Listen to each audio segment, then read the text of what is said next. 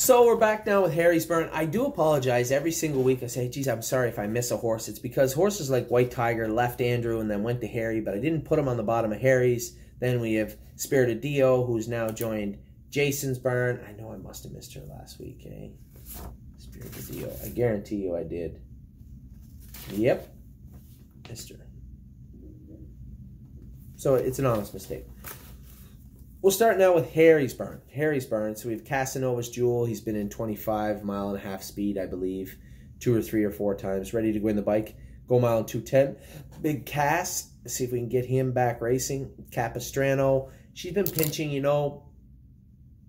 We've talked about the concerns I've had with Capistrano and her lameness left hind, and Harry's been very concerned. We trained her in 157 last week with Don't Believe Me, Just Watch, who raced great. Uh, she didn't train fast yet. I'm going to train her tomorrow at Mohawk, maybe in 2 1, 2 2 if she's sound after the qualifiers to make sure she's tight enough for Saturday night. We're going to take her to Hanover. First, I was going to the stake race in Mohawk. The every time I forget this stake race. Anyway, a Grand Circuit event, and then we decided no, she's not tight enough, she's not sound enough. We are going to go to the gold and this, and they said no, we're just going to go to grassroots. I'd rather not race her at Hanover, but got to get her raced. And um, she doesn't need the points, but what are our alternatives? Race her at Mohawk in a two year old race? Like going 53. So let's just go to Hanover where it's probably going to go 57. We'll see how, how she races. What else? Just a tad. I was going to race him and qualify him.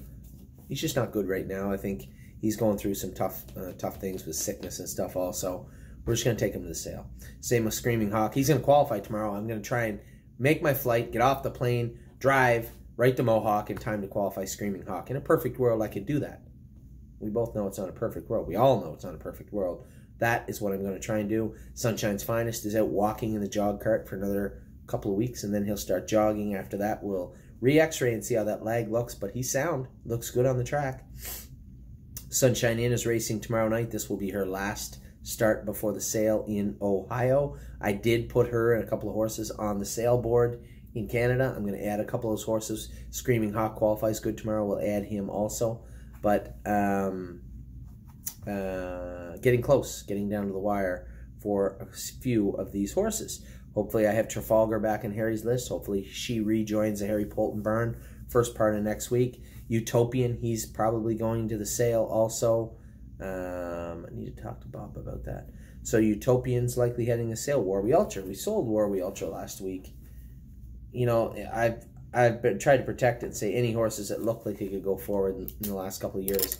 We just didn't sell them, but the reality of it is is that we're going to have to be exposed with some of these horses where they could go forward for other people and they may Warrawee Ultra is one of those fillies she's on the incline right now so she, yeah this guy's you know the, the world's her oyster so to speak she could get better and better and better and be a nice 55, 56 trotter. But we we uh, decided to cut her loose. So Warrawee Ultra was sold the other day, and then White Tiger again. He's bouncing from. Uh, he went to Tim Twaddle's barn this week from Harry's barn. Uh, we'll see what happens next, and then he may end up back here in Canada. I don't know why Gold Watch is down here. G does not come after W. Anthony up there. Gold Watch. Harry likes him, likes everything about him, says he's coming nicely. You may not remember. Gold Watch. Gold Watch is a brother to a horse we had last year that will remain unnamed as of right now. And uh, Harry said he is doing everything really nice, pacing nice, really filled out nicely. Not a big colt. He's one of the he's watching. Same as Don't Believe Me, Just Watch. But uh, doing his work well, most importantly. So that's Harry's barn, I believe. Again, if I missed something, don't don't uh, don't persecute me on, on the emails. I do have a list, and there's a lot of horses moving around here, so I do miss them from time to time. Don't think I missed anybody yet. We'll be back in just a minute with Kevin's Barn and then Jason's Barn, both of them.